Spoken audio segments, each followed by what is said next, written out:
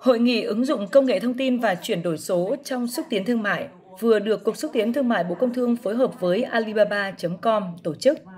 Hội nghị năm nay với chủ đề Hương vị Việt Nam thăng hoa thế giới, tập trung vào ngành hàng nông sản, thực phẩm và đồ uống. Phát biểu tại hội nghị, Cục trưởng Cục Xúc tiến Thương mại ông Vũ Bá Phú cho biết,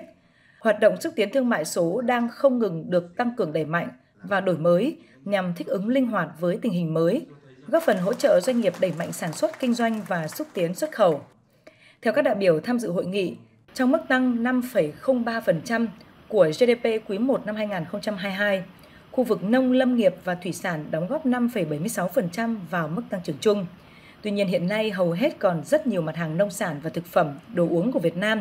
đang tiêu thụ ở dạng thô với giá còn thấp hơn với các nước khác do nhiều nguyên nhân như thiếu thông tin thị trường, các hình thức xúc tiến thương mại còn hạn chế. Do đó, việc hỗ trợ doanh nghiệp tìm kiếm và đa dạng các kênh phát triển thị trường trong bối cảnh kinh tế hiện nay đang là ưu tiên hàng đầu đặt ra với các doanh nghiệp. Muốn làm được điều này, cần làm rõ sự cần thiết và vai trò của chuyển đổi số với các doanh nghiệp, tư vấn cho các chủ doanh nghiệp về các giải pháp công nghệ mà doanh nghiệp cần dựa trên thực trạng và nguồn lực từng doanh nghiệp,